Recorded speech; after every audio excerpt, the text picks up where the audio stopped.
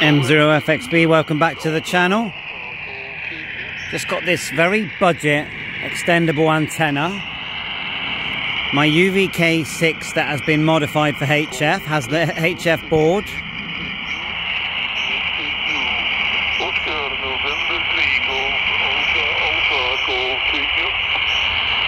You can see that it's working fine. I've got two antennas here.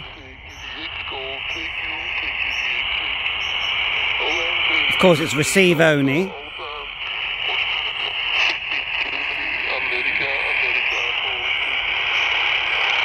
And we can move the antenna around. We can get a much better quality one. But I thought I'd show you. Running the Fagci Reborn software. To take these apart, it's actually really easy, but the soldering is small but doable. Otherwise, you can buy it pre-modified, like I have. Bye for now.